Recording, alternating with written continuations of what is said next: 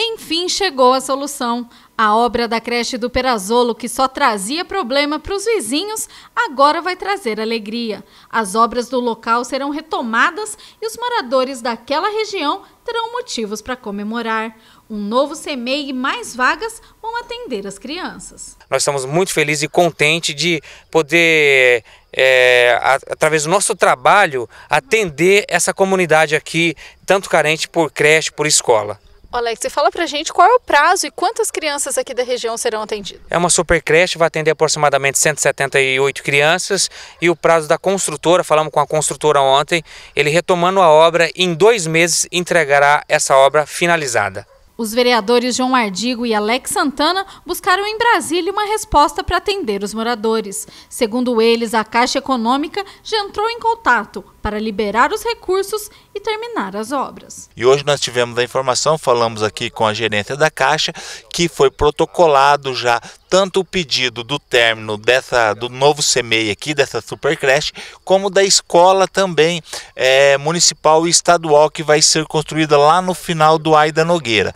Então já está em encaminhamento, todo esse processo é, da agora para frente deve demorar 90 dias. Assim que terminar, a construtora falou que a hora que liberar desses 90 dias, a construtora em 60 dias entrega a obra pronta. Então nós esperamos que toda essa burocratização que tiver, em mais ou menos aí, é, em seis meses a obra vai estar pronta. Então, consequentemente, para o início do ano que vem, é, essa super creche, se tudo correr bem, o município fizer a parte dele, porque a parte parte nossa nós fizemos, que é correr atrás e fazer toda é, essa ligação. Então depende agora do município fazer a tramitação dele e não perder nenhum prazo. Nós acreditamos que daí no início do ano que vem já vai estar tá beneficiando toda essa região aqui dos quatro conjuntos. Ô João, e como que fica a questão técnica? Né, a gente vê aqui que a construção né, foi bem atingida, o pessoal chegou a atacar fogo aqui, teve uma época. Isso aqui vai ser demolido ou eles. É, como que vai ficar a situação? É, a princípio vai vir um engenheiro da Caixa Econômica, vai fazer um estudo de como que vai ver se a possibilidade de manter isso que ainda está em pé ou se demole e, e começa do zero novamente, né? Mas o importante é que está no caminho. Até alguns meses atrás nós não tínhamos perspectiva que essa obra re iria reiniciar e hoje, graças a Deus, aí nós conseguimos colocar ela no caminho.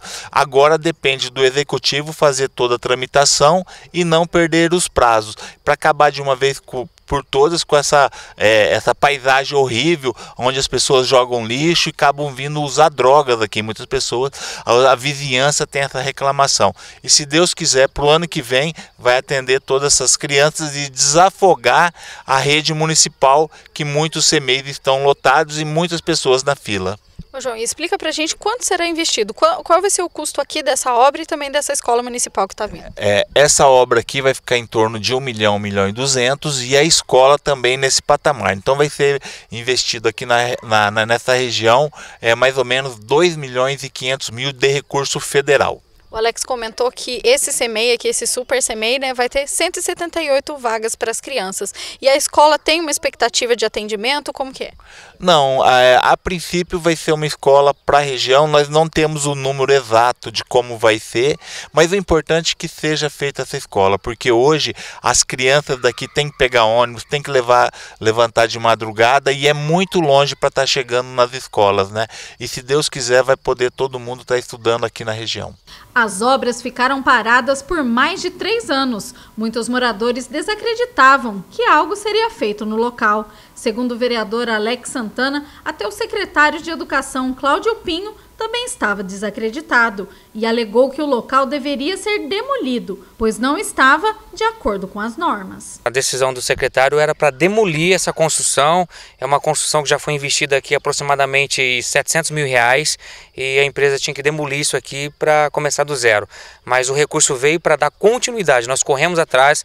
Quando recebemos essa notícia, fomos em Brasília novamente, ligamos, fizeram uma correria para não perder esse recurso e o recurso veio para dar continuidade no projeto que está em andamento e não será mais demolido como era a intenção do secretário senhor Cláudio Pinho. Pois a nossa intenção aqui no município não é de fechar a escola, mas sim de abrir mais escola para atender a nossa comunidade.